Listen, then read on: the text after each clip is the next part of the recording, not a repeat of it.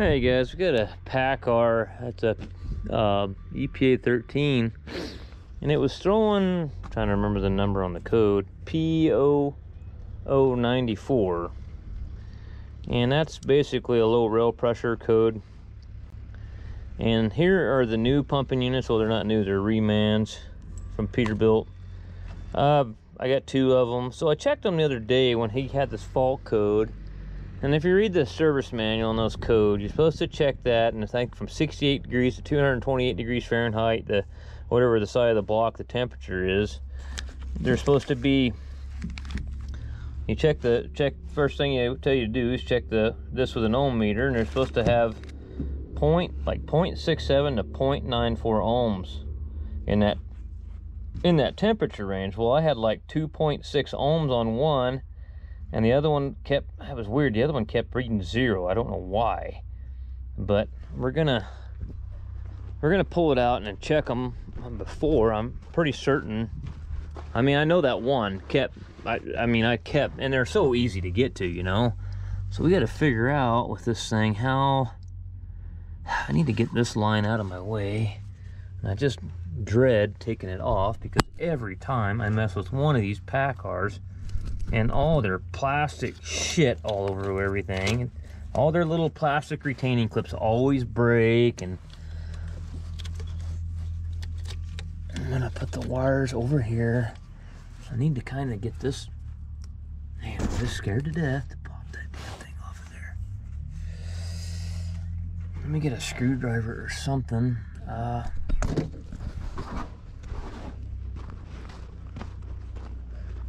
walk back over to my truck. He's loaded and it stinks. It's full of chicken shit. If it ain't chicken shit, it sure has hen house ways about it.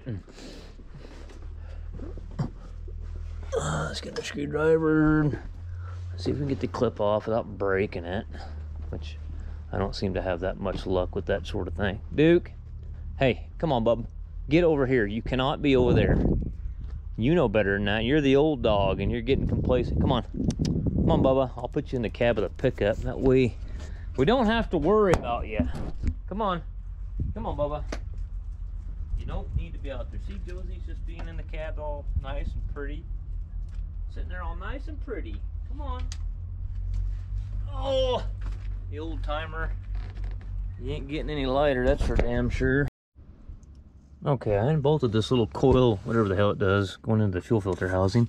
And now I can I think we'll get this other bolt loose. Don't take, with these PACCARs and these pumping units, I've learned something very valuable.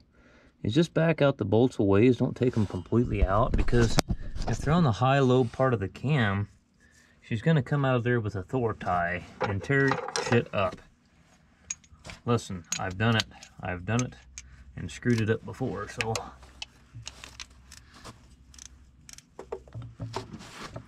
Now I can get on that damn thing there. There we go.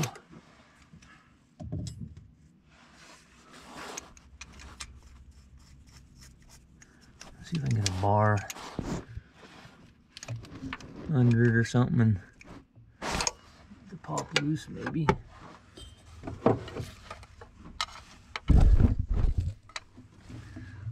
Okay, where do I need to be prying at?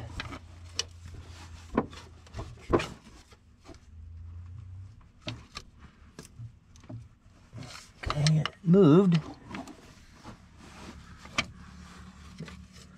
Doesn't act like it's got a big amount of tension on it or anything.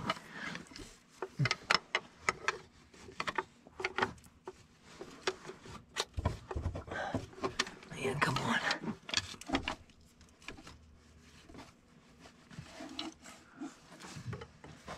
Man, just all this stuff, they just don't make it to work. I can access it without tearing half the truck apart or breaking something trying to get to it. So you don't have to tear it apart. I mean, it's just a pain in the ass. Hey guys, while I'm sitting here struggling with this uh, this uh, pumping unit, trying to get it out, thought I would update you on the status of the last video. You guys saw me where, if you didn't see the video, what I did is I had a ISX Cummins that I had VGT actuator uh, abnormal update rate codes for. And what that means, the CAN bus isn't something either the power and ground of the actuator uh, or the CAN bus, the CAN high and low uh, circuit is faulty. So, anyways, and it's not communicating with the ECM. So, anyways, we wired that yesterday, and Kevin ran like I think he hauled three loads. He ran it about maybe 15, 16 hours a day, and and uh, didn't have it happen one time. So uh, if you want more info on that, there's a way more in-depth explanation on the previous video on my channel. So anyways, so so far so good. I thought I'd let you guys know uh, about that. I think maybe we're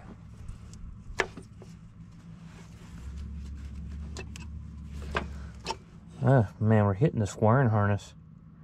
You know, I'm gonna have to be honest with you. I've never had to change one on an EPA 13, and it's kind of looking like kind of looking like you got to remove the entire wiring harness. I don't know. That's pretty wild if that's the case. Man, I thought I could get past that. How do you get past the wiring harness? I mean, you gotta take the entire wiring harness out of the truck so you can get that out of there? I'll tell you what, these pack are the DAF engine. It's a DAF engine. Them Europeans, they they they got some genius shit going on. Some real genius shit going on with these PACCAR pieces of fucking junk. I'll tell you that. These things are the biggest piece of shit you ever seen. Everything about them just garbage. Just absolute garbage. There's just nothing good about them. I mean, you could just keep trying and trying to find something. It's just not there, you know?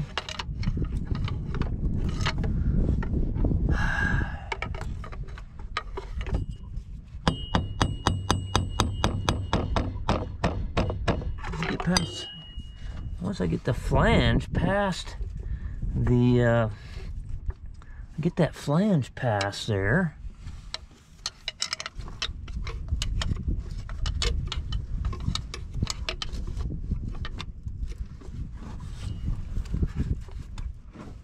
I think maybe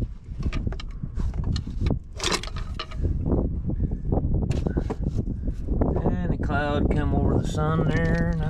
It's gonna start blowing and get colder than colder than shit.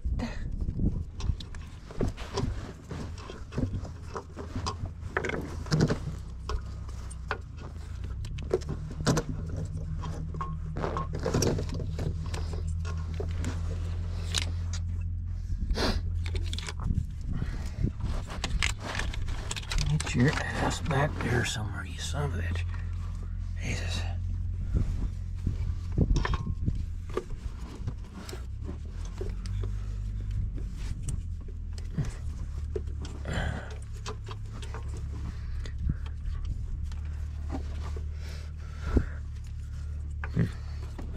Can't get this line like I told you. I'm gonna have to go get an end wrench. There's a hold down bracket here that's right. I'm gonna have to get that line out further or something. I mean, I can't get the the, the plug on the actual pumping unit past the line. Uh, wait, maybe I got it. Now the ear is hitting it.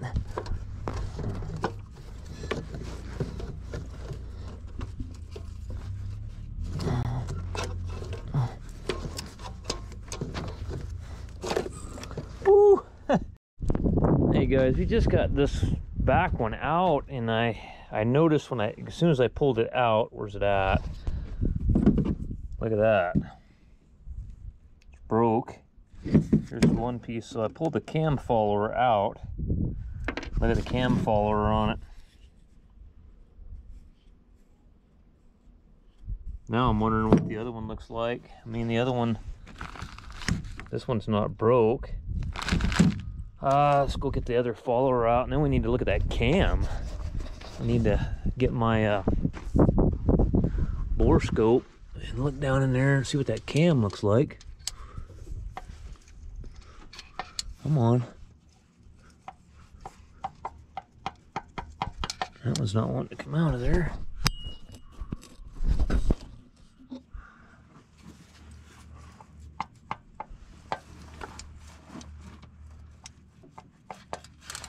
Okay.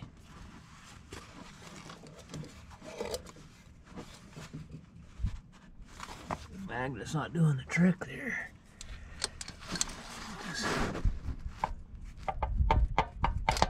I don't want to come out.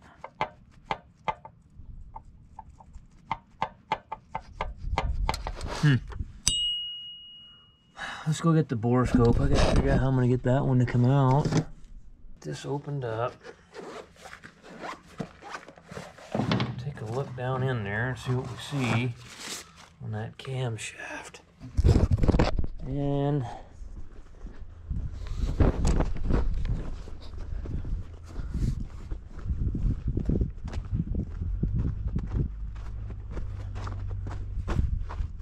let's see what we see here.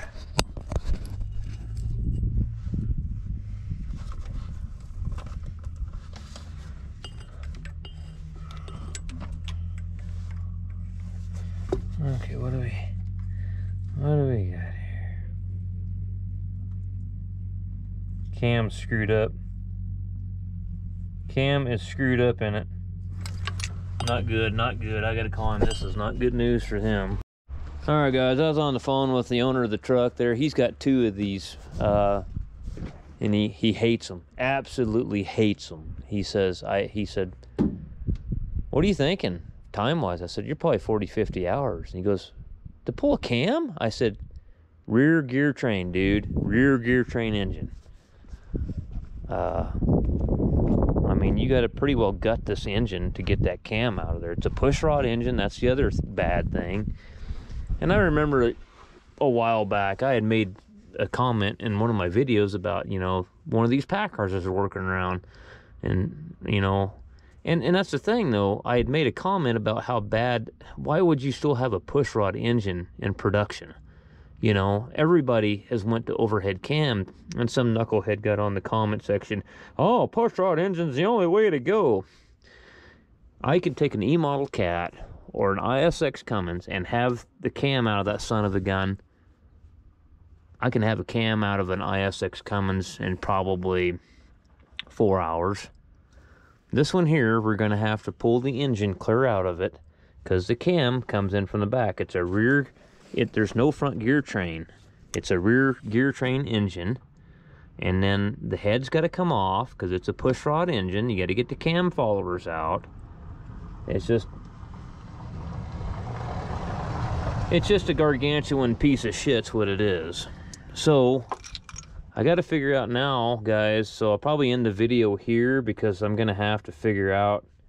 Um, I got to air it up and uh, get the trailer unhooked and I guess the trailer is going to be stuck right where it's at I'll get some I got some disc blades I'll throw under the landing gear and get the trailer unhooked um I need to air it up and get the suspension up put the landing gear down then dump the air on the suspension and then drag the truck out from underneath it I wish I would have known God, I wish I would have known this was gonna be like this before this all went down. And it's got walking floor trailer, so it's got hydraulics hooked into it. Gotta get the uh, quick couplers and get the hydraulics and I'm glad this thing's kind of downwind from me. This thing is loaded with chicken shit right now. That ought to smell real good by the time the week's up or whatever. We Won't get this thing back together.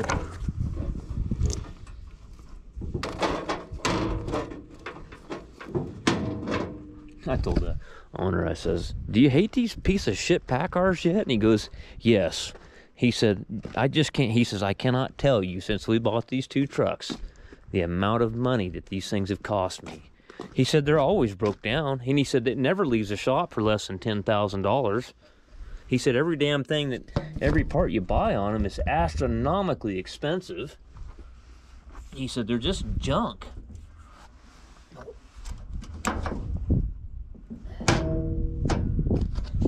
All right, well, guys,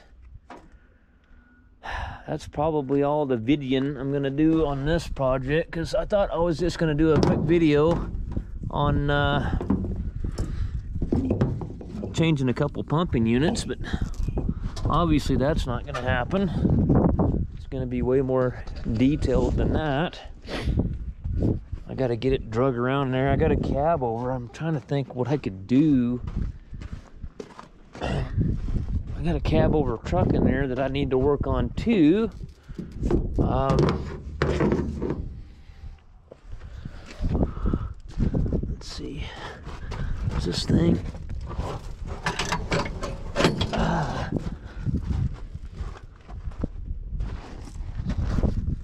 And I'm probably not going to get it even get it in there today. I'm going to have to get my wife down here to help me get this thing in the shop.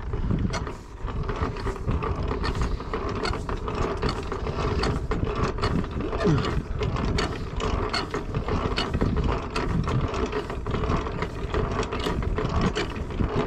not going to be able to get her in there today, I don't think. I might take a... I might take a tape. Wonder how high them stacks are. This one doesn't seem to be as high as most of them are. I might take a tape. I might go in this bay right here, but where in the hell am I going to park my truck at? running out of room to put shit in here, you know what? This one feller with this retrofit, I kind of wish he'd bring his wiring harness and his parts up. I kind of need to get that one going and kind of get it out of here and make some room in here. Well, I'll tell you what I'm going to do. I might pump the cab back down on that old Freightliner right there. And then I could probably I might be able to clean this all out right here and then get that truck. Just nose it in here or something, maybe. I don't know. I don't know. We'll see.